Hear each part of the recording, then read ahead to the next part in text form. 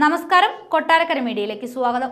E M S നമ്പൂതിരിപ്പാടിനെ അനുസ്മരിച്ച് മുഖ്യമന്ത്രി പിണറായി വിജയൻ. രാഷ്ട്രീയ ജീവിതത്തെ കൂടുതൽ ആഴത്തിൽ മനസ്സിലാക്കുകയും പകർത്തുകയും ചെയ്യുക എന്നത് അനിവാര്യമായ ഒരു ചരിത്ര സന്ദർഭമാണിത് എന്ന് മുഖ്യമന്ത്രി കുറിപ്പിൽ കുറിച്ചു.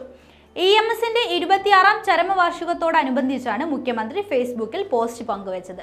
സംഘപരിവാറിന്റെ ഫാസ്റ്റിസ്റ്റ് നയങ്ങൾക്കും മുതലാളിത്തത്തിന്റെ ഹൃദയശൂന്യമായ ചൂഷണവും പത്തി വിരിച്ചാടുന്ന ഈ ഘട്ടത്തിൽ അതിനെതിരെ മാനവികതയുടെ പ്രതിരോധമുയർത്താൻ സഖാവ് ഇ എം എസിന്റെ സ്മരണകൾ പ്രചോദനം പകരുമെന്നും മുഖ്യമന്ത്രി പറഞ്ഞു.